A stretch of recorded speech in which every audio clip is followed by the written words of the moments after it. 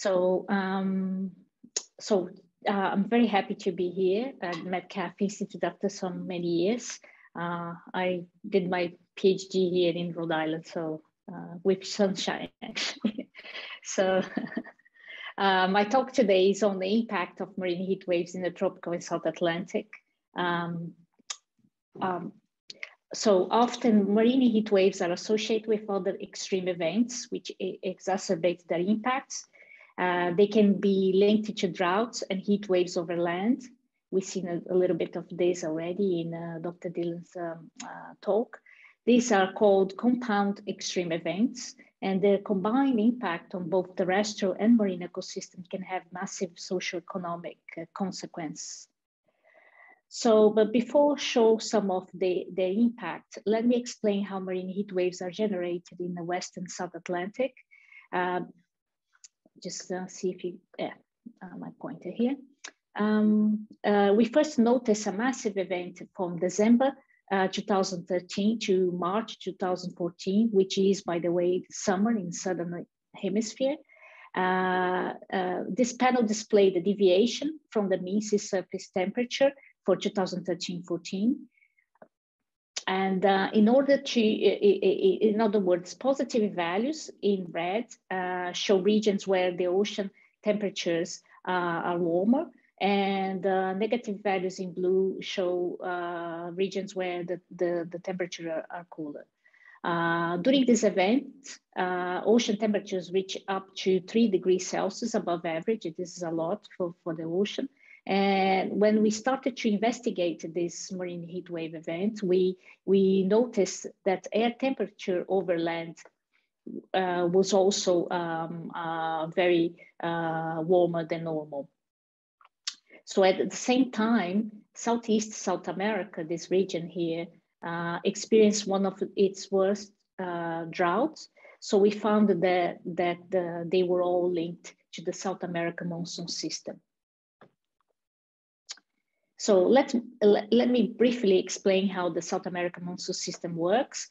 Uh, the wet season is characterized by the establishment of the South Atlantic convergence zone uh, during summer, which is this band of, uh, of um, uh, strong precipitation associated with a clockwise circulation or, or, low pressure system here over Eastern South America that channels the, the, the moisture from, from the Amazon to, to Eastern South America.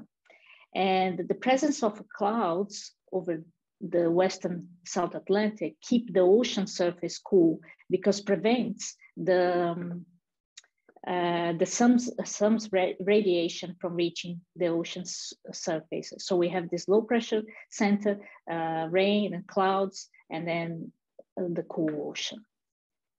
So, uh, but during the summer of 2013-14, however, a persistent anti-clockwise circulation uh, established over Eastern South America, preventing the development of the South Atlantic Convergence Zone and its associated rainfall.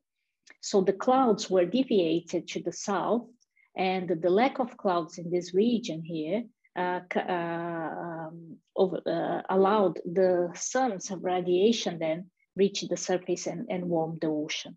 So then when you, you know, in this situation, we had a high pressure system and cyclonic, no rain, no cloud cover, warm ocean.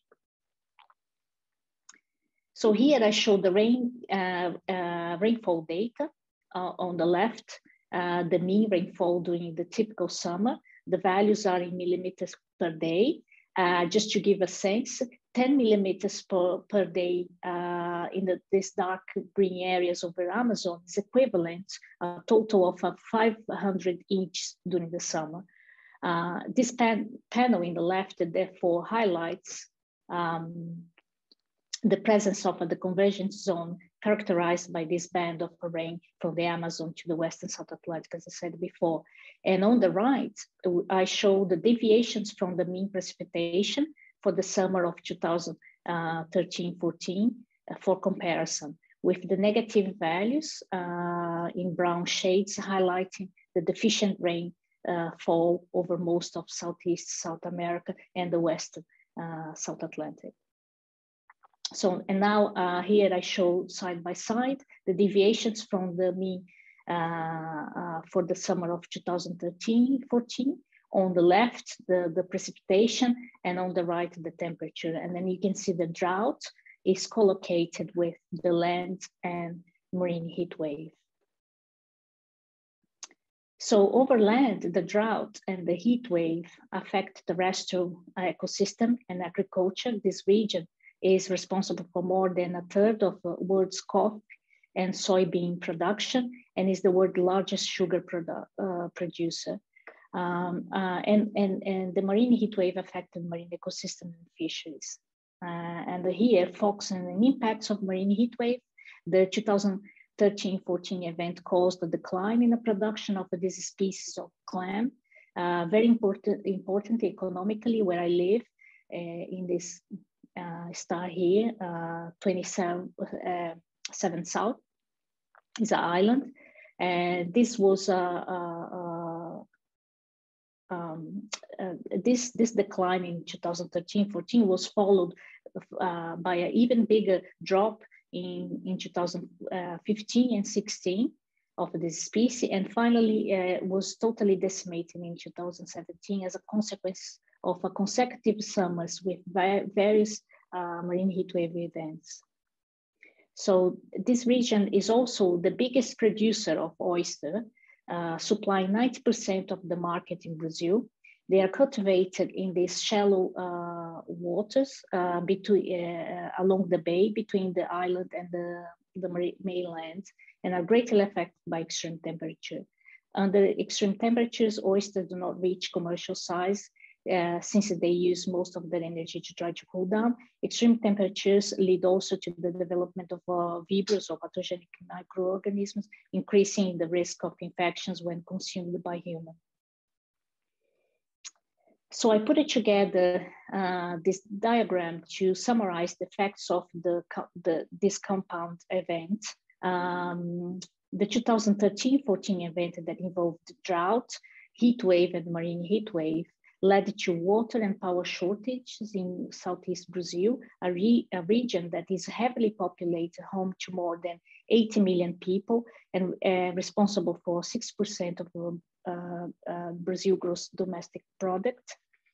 It also reduced the Brazil soy coffee and sugarcane production impact food supplies globally, increasing worldwide prices. It decreases the production of oyster and the catch of some commercially important fish species while decimating clams uh, along the southern coast of Brazil, as I showed before.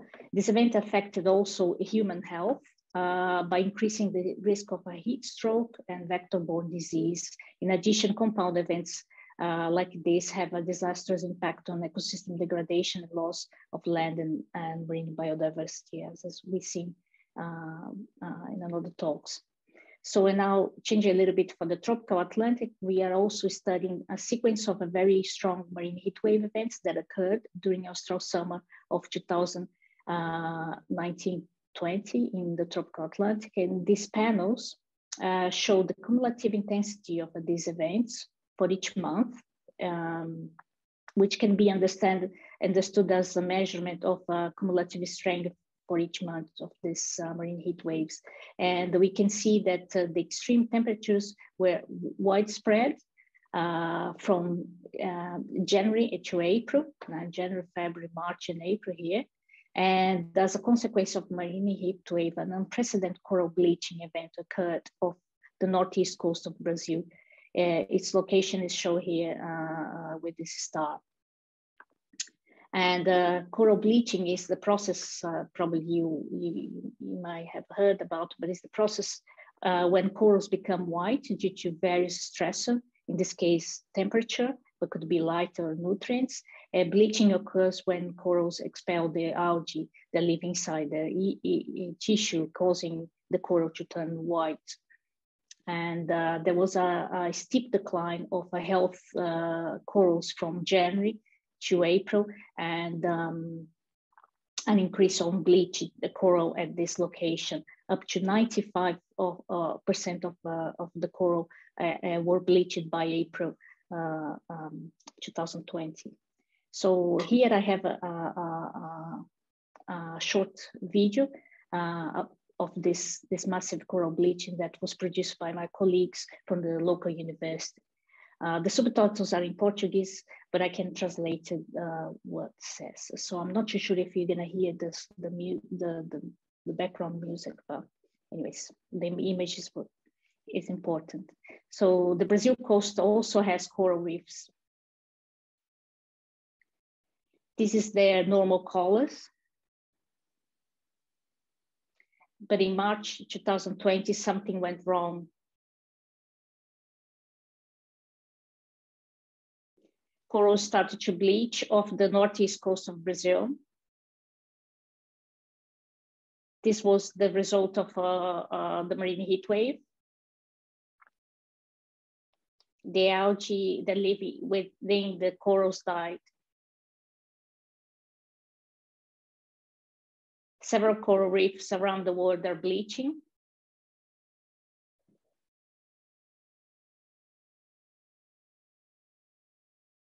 and in some of the reefs off the Brazilian coast, from 80 to 100% of the corals bleached during this event.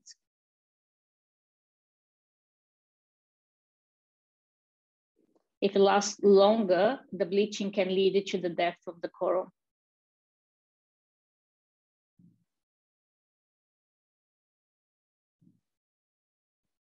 Compromise the survival of several species that depend on the corals affecting tourism,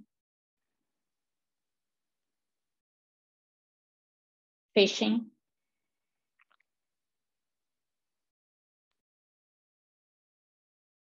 and the ability of the reefs to protect the coast from storms. The Brazilian coral reefs are usually, more resilient to bleaching, but during 2020, they, they struggle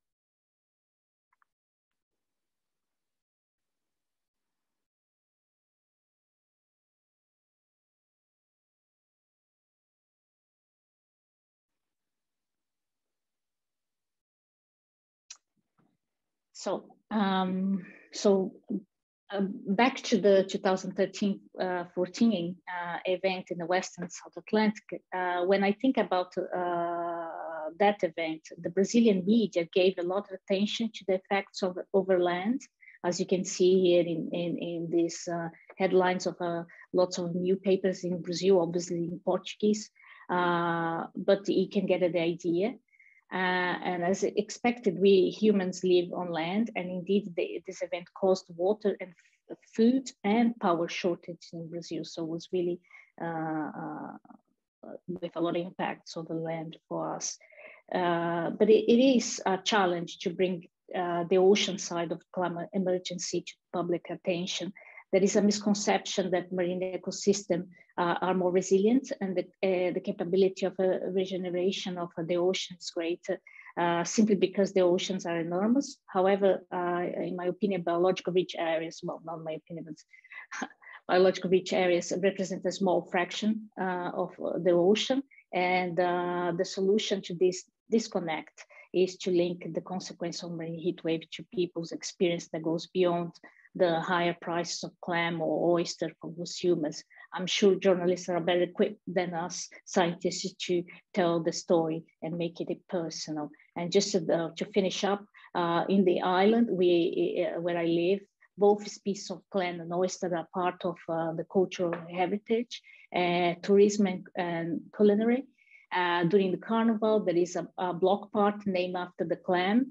you can see here in the left, in the um, um, right uh, panels uh, these photos.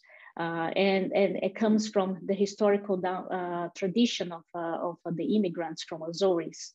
Uh, there is also a oyster festival, um, as you can see here. So basically, it, it goes beyond the the the, the just the the rise of of the price or, is, is part of the, the, the, the economy, but also the, the culture uh, of the people. So that's it. Sorry, I just uh, want to take more time. And this is the people that work with me that I should uh, thank.